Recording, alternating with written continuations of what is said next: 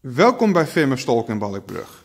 Hier op dit moment hebben wij een Mercedes 111 met een 250 motor op de brug staan. Uh, deze auto die krijgt uh, groot onderhoud aan de motor en aandrijflijn, uh, want we hebben zo bijvoorbeeld koelvloeistof in de motorolie gevonden.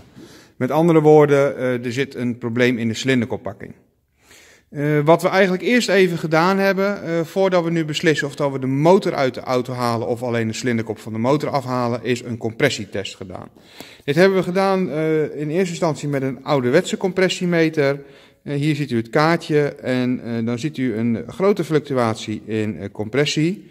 Maar eigenlijk vooral bij cilinder 4 een veel te lage compressie. Bedoel, laten we duidelijk zijn, zulke grote verschillen wil je niet in de motor hebben, want dan zal die nooit goed lopen.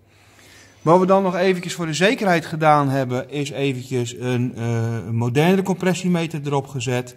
Uh, we hebben uh, olie op de zuiger gezet en dan opnieuw compressie gemeten. En zoals u ziet is de compressie niet veel hoger dan dat die was zonder olie op de zuiger. En dat duidt er over het algemeen op dat er een probleem zit bij de kleppen. Of dan wel in de cilinderkop.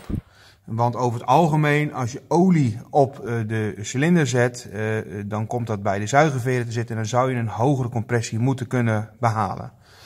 Uh, wat we dus nu gaan doen, we hebben er toch voor gekozen om in dit geval dan de motor uit de auto te halen, zodat we alles goed kunnen inspecteren en dat kunnen reviseren wat nodig is. Voor meer tips en informatie over het onderhoud van uw Mercedes-Benz klassieker, kijk op www.stolkbalkbrug.nl.